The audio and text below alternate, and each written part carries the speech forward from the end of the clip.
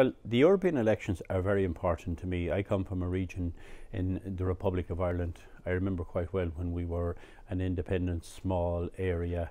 Uh, it was a pretty poor region that didn't have the, the, the, help, we'll say, of the Europeans. From once we joined what was in the common market in 1973, the whole area received a boost, received a lift. We had uh, better uh, prospects of exporting our cattle.